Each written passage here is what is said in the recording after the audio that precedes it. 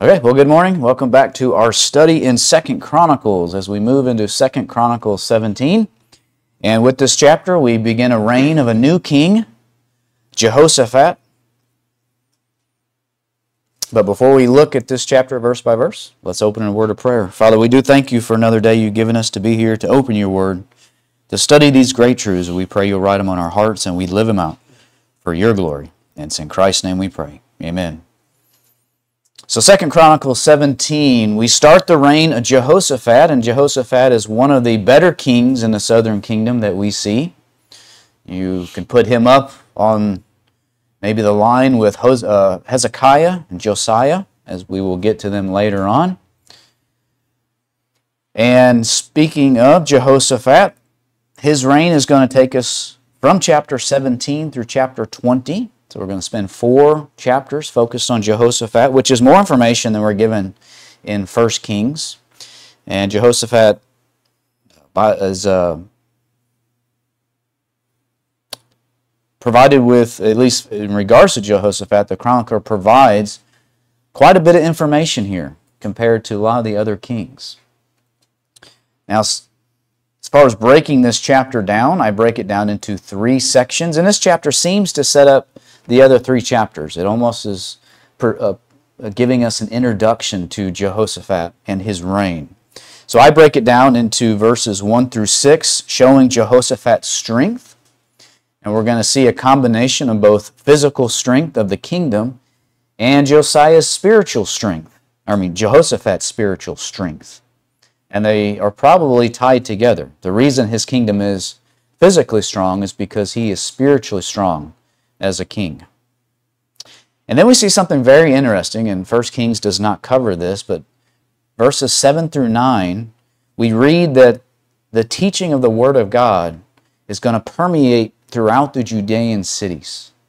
And this is going to be at the command of King Jehoshaphat. And then we come back to the idea of strength, and this time it seems to be more fo- focused on the physical strength of Jehoshaphat i.e., the strength of his kingdom. So those three sections. Now, as far as a parallel section, there's not much in 1 Kings that covers this chapter. Basically, verse 24, 1 Kings 15, basically tells us that Jehoshaphat takes over from his father Asa. So it is interesting as we compare the the theme of First and Second Kings to that of First and Second Chronicles. There's definitely a different emphasis. So let's jump into this. And the, the chapter is pretty straightforward, but we will look at the details here.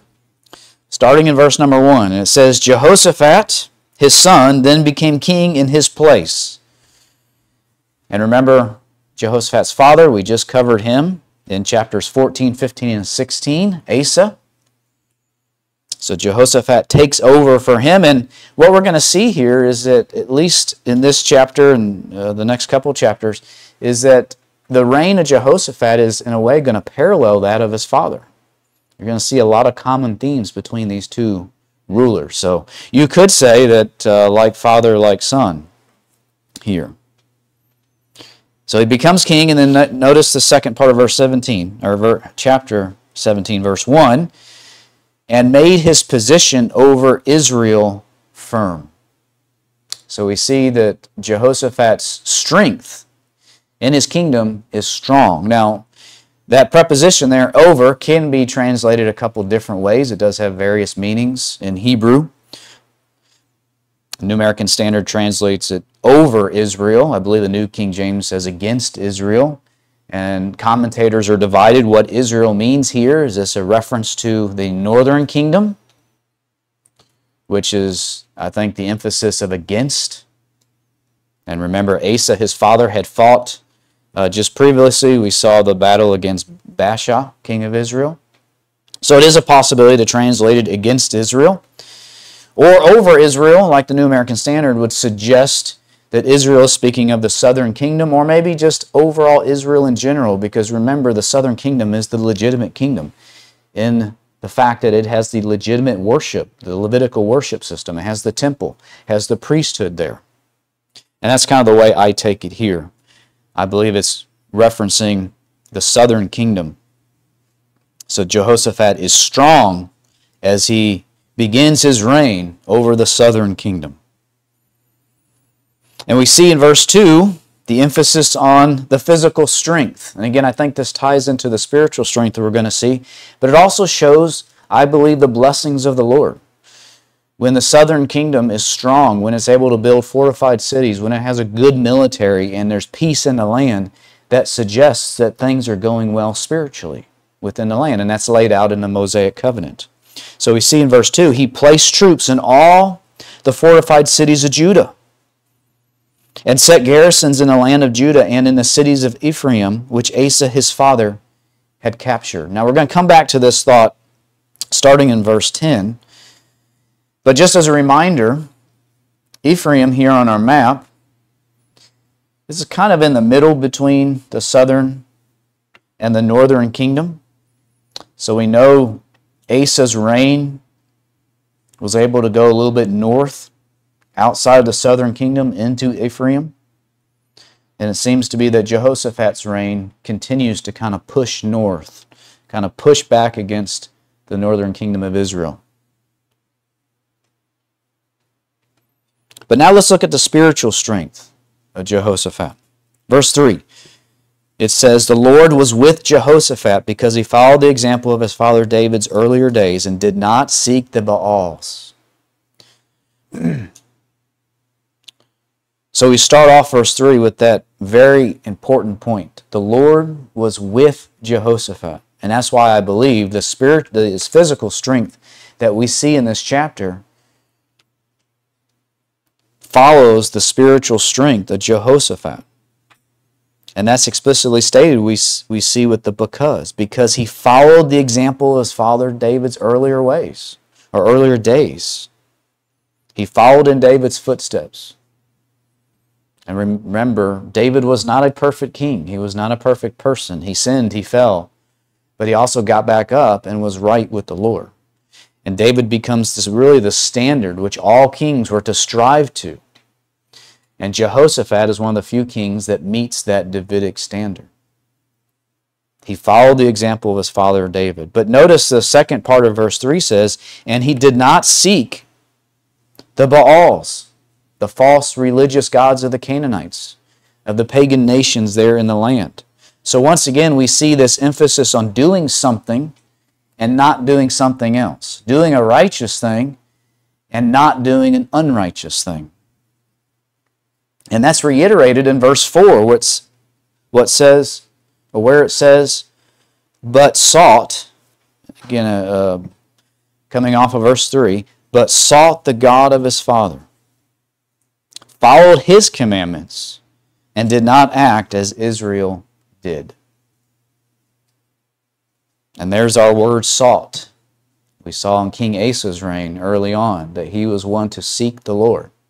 And now we see his son Jehoshaphat is seeking the Lord. But notice, in addition, it says he followed his commandments. And once again, we see the tie of, a, of an individual seeking God, but seeking God by seeking or following His Word. These two go hand in hand. And once again, we see what he did not do. He did not act as Israel did. And Israel, in this case, I would say, would be the northern kingdom in context. So he did not submit himself to idolatry and the pagan idols. And again, this led to physical strength. Verse 5 So the Lord established the kingdom in his control. And all Judah brought tribute to Jehoshaphat, and he had great riches and honor. So we see the prosperity of Jehoshaphat here because he was following the ways of God and God was prospering him. And again, this goes back to the Mosaic covenant. So we got to be a little careful how we apply this and just can't go around saying that if you just follow the ways of the Lord, God's going to make you rich, famous, and He's going to bring great honor to your name. Okay? Again, we're in a different dispensation. Again, this with Jehoshaphat is tied directly, I believe, to the Mosaic covenant. So God is prospering him among his people. Verse 6 He took great pride in the ways of the Lord or his heart was lifted very high. An idiom for this idea of taking pride. And he's taking pride notice in what? The ways of the Lord. He wasn't taking pride in himself. Sometimes when we do get riches or honor or fame, it's very easy to look at ourselves and think how great we are. You know, if we get a big job promotion or we, you know, win some kind of jiu-jitsu match, you know, we think how great we are. But notice here that temptation probably was there for Jehoshaphat. But what does he do? He takes pride in the ways of God. And again, it says, remove the high places and the Asherim from Judah. So, like his father, and as the reason I, be- I believe that the and again is there, like his father, he removed the high places, the Asherim, the, the pagan worship sites. I mentioned a couple weeks ago that there's two different instances where in Asa's reign he went and removed these places of worship. So why did he have to do it a couple times? Well, I think they keep springing back up. They tear them down, and then what happens? They come back up. It's like it's like weeds in your yard.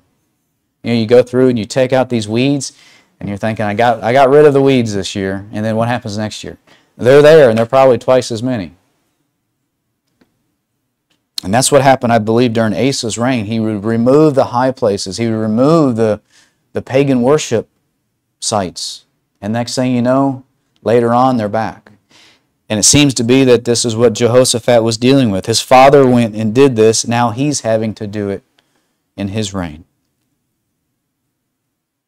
But overall, things are going well in the southern kingdom and for Jehoshaphat. So we see in these first six verses the physical strength and the spiritual strength of Jehoshaphat. And then, as I said, we move into this section where we see the Word of God permeating in the Judean cities.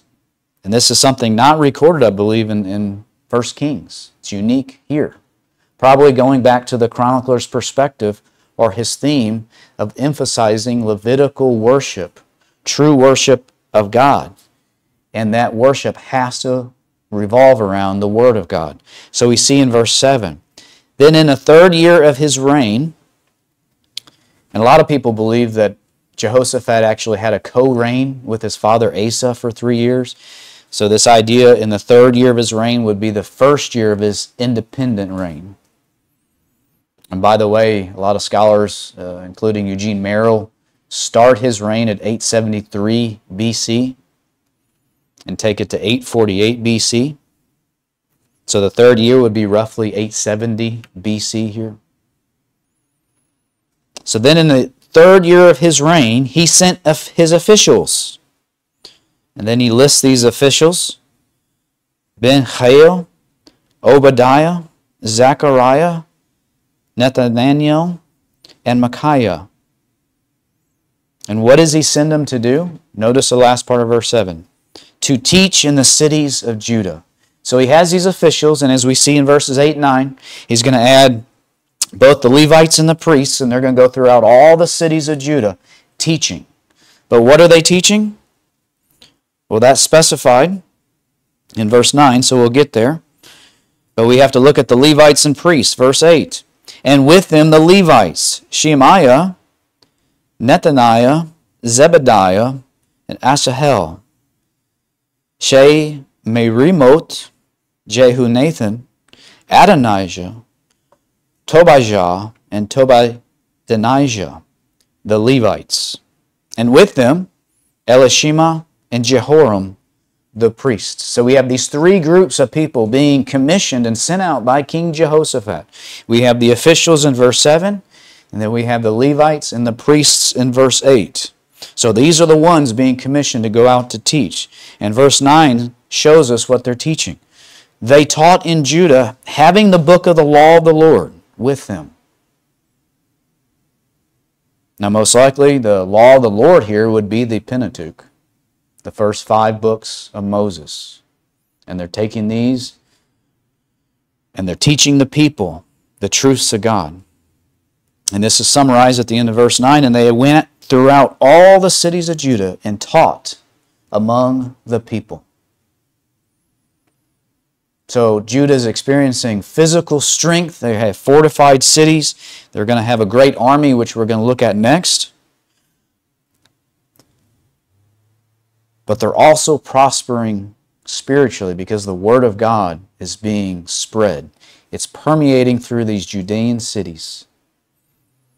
And this, I believe, is one of the high points of the southern kingdom. And on a side note, not that we get our mission from this section of Scripture, but here at Tyndale, that's what we're trying to do. As an institute and as a seminary, is we're trying to spread the Word of God. And we're doing it by training up others. Training up others to take who not only learn the Word of God here at the school, but learn how to teach the Word of God so that they can go out and to teach others. And then our hope is that those people who are taught by our graduates would then teach others. And those would teach others. And you would see this force multiplication going on. And we see this with some of our, at least one of our graduates in, in Eastern Europe. He received his education here. And then he started his own Bible study group, and then people in there are teaching others. So we see this idea, this, this permeation of the Word of God. And that's what we're about here at Tyndale. And this is exactly what Jehoshaphat is commissioning. He's, he's teaching, he's having these people go out to teach the law of the Lord because he gets it. He knows the important aspect of reigning as king and that is following the ways of God. And you follow the ways of God by following His Word. and I believe this is what's leading to this physical strength, which now we focus in on the rest of the chapter. Verse 10 says, Now the dread of the Lord was on all the kingdoms on the, of the lands which were around Judah, so that they did not make war against Jehoshaphat. So Jehoshaphat's reign was strong, and that idea was picked up among the peoples who surrounded Judah. They knew that the Lord's people were not to be messed with. So it's a time of peace. It's a time of prosperity. And then we get a, couple of examples of this in verse 11. Some of the Philistines brought gifts and silver as tribute to Jehoshaphat.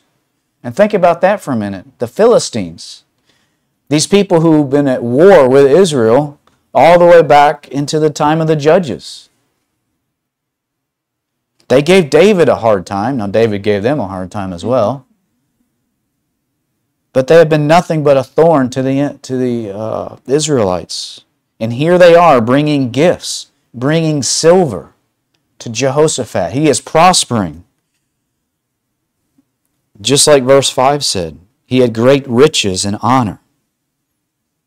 But not only the Philistines, look at the rest of verse 11. The Arabians also brought him flocks 7,700 rams, 7,700 male goats. Now, these are probably tribute payments.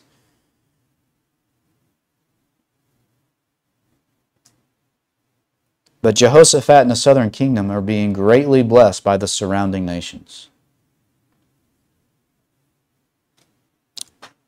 And then starting in verse 12, we start seeing a little bit more detail regarding the physical strength, both the fortifications and Jehoshaphat's army. And I believe all this is to again show how prosperous the southern kingdom is and how that prosperity is tied into Jehoshaphat following the Lord and the Lord blessing the southern kingdom. So all these all these great things that are happening both to Jehoshaphat and Judah are because of the Lord's presence and his work among his people. So, verse 12 say, says, So Jehoshaphat grew greater and greater, and he built fortresses and store cities in Judah. So he's taking this time of peace, just like many of the uh, previous kings, to really make sure that his cities are fortified in case an attack does come. And he has them well supplied. And he's also able to create a large, massive army, which a lot of commentators will play down the numbers. We'll talk about that in just a minute. But look at verse 13. He had large supplies in the cities of Judah and warriors, men of war, valiant men in Jerusalem. And then he's going to detail these valiant men in Jerusalem. Verse 14 This was their muster according to their fathers' households of Judah. So we start with Judah. Commanders of thousands. Adnah was the commander, and with him 300,000 valiant warriors. In verse 15, and next to him was Jehohanan, the commander, and with him 280,000. And then verse 16, and next to him Am- Amasiah, the son of Zichri, who had volunteered for the Lord, and with him 200,000 valiant warriors.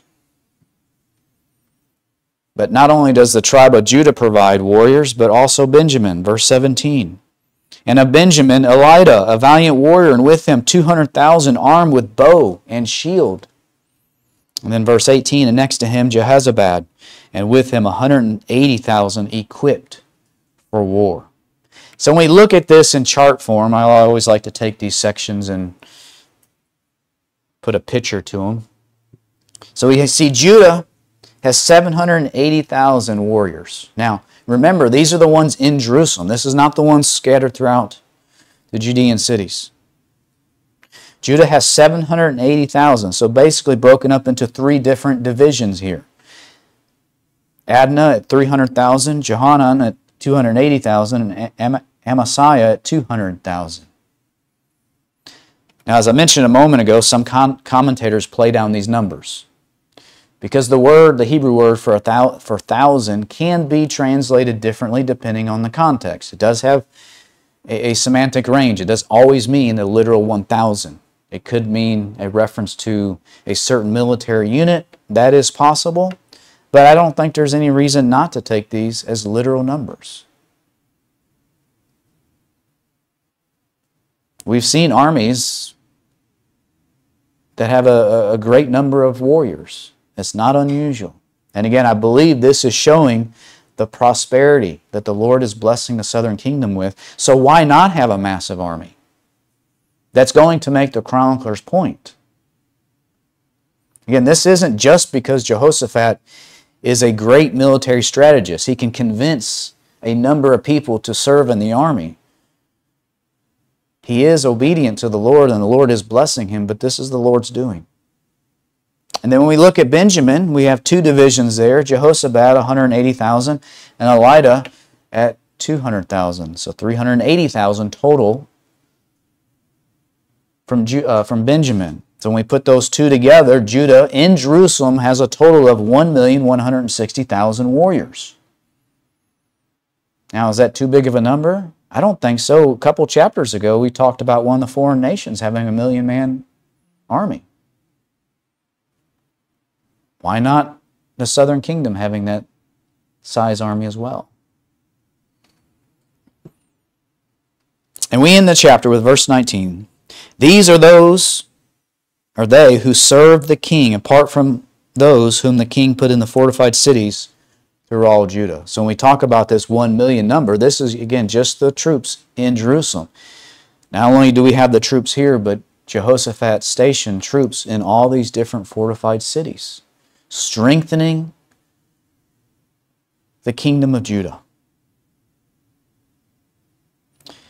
Now, interestingly enough, as we move into chapter 18 next week, we're actually going to see a battle, and we're going to see Jehoshaphat aligning to someone we wouldn't think he would align with. Being a man who follows the ways of the Lord, he's going to align himself with Ahab, the king of the north. And we know Ahab from Ahab and Jezebel. Probably one of the most unrighteous people you could, or most unrighteous couple that you could point to in the scriptures. But we'll save that for next week. So, what do we walk away with? We've seen this through a couple of our kings here that the idea of seeking the Lord was key to their success. We saw it with Asa, and now we're seeing it with Jehoshaphat. Seeking the Lord was essential to his success as a king and leader of the southern kingdom. That's why he's prospering, because the Lord is working. He's honoring and blessing that obedience. But what you, I want to add one other thought here. in addition to seeking, we also see that Jehoshaphat was one who was avoiding wickedness. We saw that in verse 3 and 4 that he did not seek the Baals, he did not act as Israel did. So we see kind of this two part obedience. He's doing the righteous things and he's avoiding the unrighteous things. Which again is going to make it surprising in chapter 18 when he aligns himself with Ahab. But here in chapter 17, he's seeking the Lord and he's av- avoiding wickedness. And it's a good reminder for us that we need to have that same mindset. We need to have that same practice. We are to seek the Lord, and at the same time, we are to avoid wickedness. And we looked at Hebrews 11:6 a couple weeks ago in light of this, and without fail, and without faith, it's impossible to please him, for he, he who comes to God must believe that he is and that he is a rewarder of those who seek him. But again, we're, we're also to avoid the wickedness. And there's a lot of examples to go to. But I, I kind of think of the Apostle Paul. A lot of times we look at Paul's writings and he breaks it up. And he, he talks about doctrine and he follows it with duty. We think of Ephesians, first three chapters, doctrine, last three chapters, duty. But I think if we, I don't have any statistics here, but I think if we went through the duty sections of Paul's epistles, we're going to see not only does he exhort, or, exhort his readers to do something righteous, but also he exhorts them to avoid unrighteousness. So, just one example, and you can pull it up or you just listen to me here. 1 Timothy chapter 6, verse 10, and this is a, a verse a lot of people have memorized and a lot of people get incorrect, but for the love of money as a root of all sorts of evil, and some by longing for it have wandered away from the faith and pierced themselves with many griefs. So we see the idea of, of greed here, but my point is in verse 11. He says, But flee from these things, you man of God, and pursue righteousness, godliness, faith, love, perseverance, and gentleness.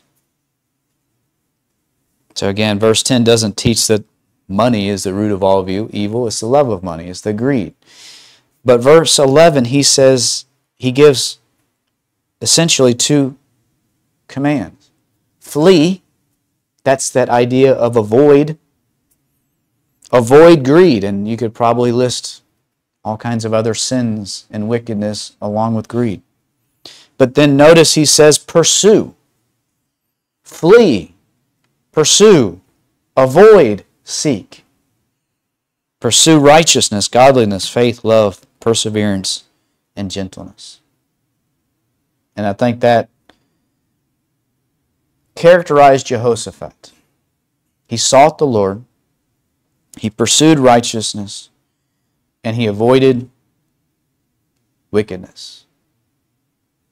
And that same example, I think, should be one that we follow too. Again, we're to be following the commands in the New Testament, not the Mosaic law. So again, we're in a different dispensation. So, but I think that example holds true. Cross dispensations. So, so next week we will continue looking at Jehoshaphat and specifically his alliance with King Ahab. So, let's pray. Father, we thank you for another day to be together, to open your word, to study these truths, and we just pray you would help them to live, uh, help us to live them out, and it would be all for your glory. It's in Christ's name we pray. Amen.